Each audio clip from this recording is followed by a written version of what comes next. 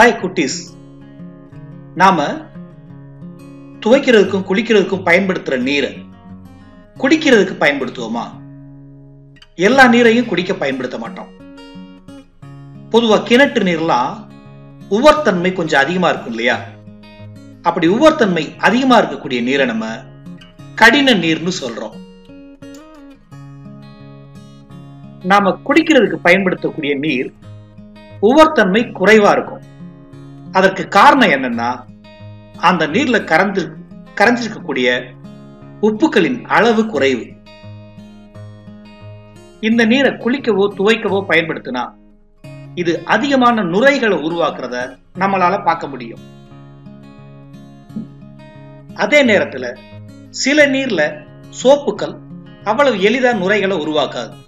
அதுக்கு பதிலா ஸ்கம்ங்கிற ஒரு பொருளை உருவாக்கும். இத்தகைய நீரை நம்ம கடின நீர்னு சொல்றோம். அதற்கு காரணம் முன்னாலேயே சொன்ன மாதிரி அந்த நீர்ல கரைஞ்சிருக்கக்கூடிய அதிகப்படியான உப்புகள் தான். அப்படி என்னவெல்லாம் உப்புகள் அந்த நீர்ல கலந்திருக்கும்? அல்லது கரைஞ்சிருக்கும் கேட்டீங்கன்னா கால்சியமோட உப்புகளா இருக்கலாம். அல்லது மெக்னீசியமோட உப்புகள் இருக்கலாம். இப்படி கால்சியம் மற்றும் மெக்னீசியம் உப்புகள் அதிக அளவுல கலந்த நீரை நம்ம கடின நீர்னு சொல்றோம்.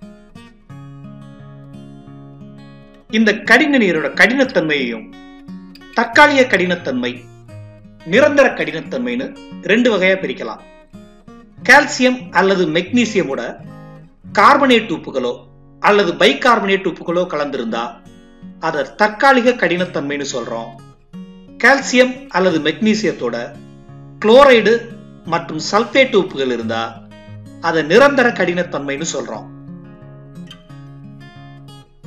இந்த கடின நீரோட முக்கியமான குறைபாடுகள் என்னென்னு தெரிஞ்சுக்கலாம்னா இது நுரைய உருவாக்காம ஸ்கம் உருவாக்குறதுனால அழுக்க போக்காது. பாத்திரங்கள்ல படிவுகளை உருவாக்குது.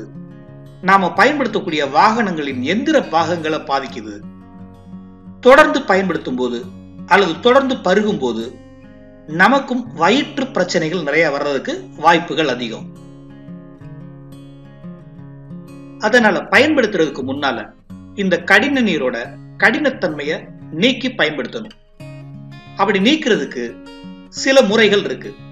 முதல் முறை தண்ணியை கொதிக்க வைக்கிறதுனால நிரந்தர கடினத்தன்மையை நம்மளால் நீக்க முடியும். அந்த கால்சியம் ஹைட்ரஜன் கார்பனேட் உப்பு கரையாத கார்பனேட் உப்பா மாறுறதுனால இந்த நிரந்தர கடினத்தன்மையை நம்மளால நீக்க முடியும்.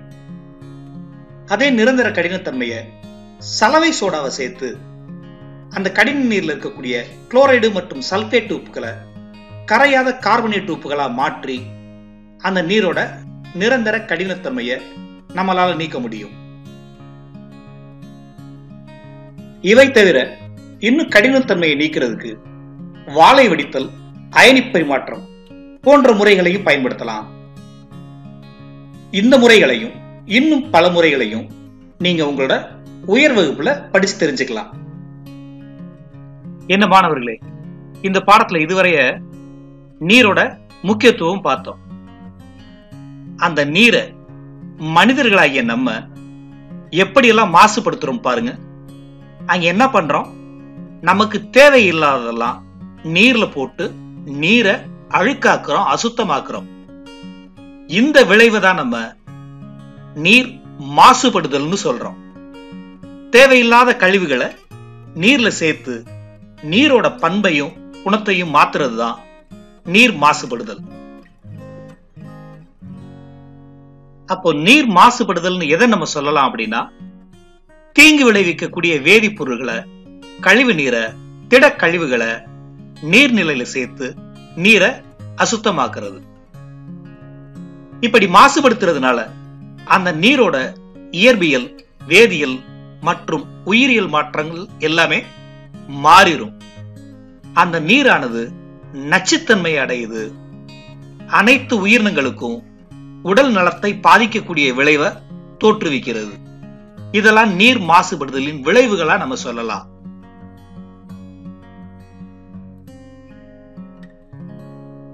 நம்முடைய வீட்டு தேவைகளுக்கும் தொழிற்சாலைகளுக்கும் விவசாயத்துக்கும் நாம பயன்படுத்தக்கூடிய நீர் நன்னீரா தான் இருக்கும்.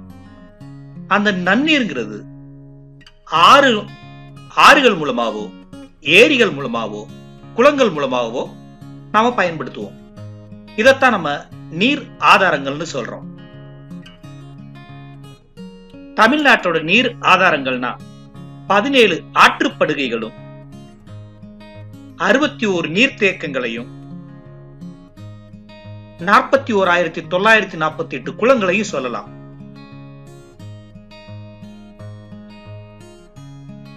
இந்த நன்னீரை மாசுபடுத்தக்கூடிய மாசுபாட்டு மூலங்கள்னா மனிதர்களாகிய நாமும் மாசுபடுத்துறோம். சில நேரங்கள்ல இயற்கையாகவே நீரானது மாசுபடுது. நாம பயன்படுத்தக்கூடிய டிடர்ஜென்ட் நீரை மாசுபடுத்துறதுல மிக முக்கிய காரணியா இருக்கு. இந்த டிடர்ஜென்ட்கள் இருக்கக்கூடிய சிதைவடையாத வேதிப்பொருள்கள் அதிக அளவுல நீரை மாசுபடுத்துது. இந்த டிடர்ஜென்ட்கள் நிலத்தடி நீரை மாசுபடுத்துறதுலயும் முக்கிய பங்கு வகிக்குது. இது மட்டும் இல்லாம நீர்வாழ் உயிரினங்களும் இந்த டிடர்ஜென்ட்ல இருக்கக்கூடிய வேதிப்பொருட்கள்னால பாதிக்கப்படுது. இது மட்டும் இல்லாம நாம பயன்படுத்தக்கூடிய சோப்புகள் பேஸ்ட் ஷாம்பு இதுலெல்லாம் நுண்ணிய நெகிழிகள் இருக்கு. இதை நம்ம மைக்ரோ பீட்ஸ் சொல்றோம். இந்த மைக்ரோ பீட்ஸ் அதிக அளவுல நீர்ல சேர்றப்போ மிக அதிக அளவுல நீரை மாசுபடுத்துது. இது மட்டும் இல்லாம நம்ம வீட்ல இருந்து வெளியேற்றக்கூடிய கழிவு நீர் வீட்ல இருந்து வெளியேறக்கூடிய திடக்கழிவுகள் விவசாயத்துல பயன்படுத்தக்கூடிய பூச்சிக்கொல்லிகள் தொழிற்சாலை கழிவுகள் எண்ணெய் கசிவுகள் இது எல்லாமே நீர்ல கலந்து அதிக அளவுல நீரை மாசுபடுத்துது. நீர் மாசுபாட எப்படி எல்லாம் கட்டுப்படுத்தலாம்? கொஞ்சம் தெரிஞ்சுக்கலாமா? மக்கும் தன்மையுள்ள டிடர்ஜென்ட் பயன்படுத்தலாம்.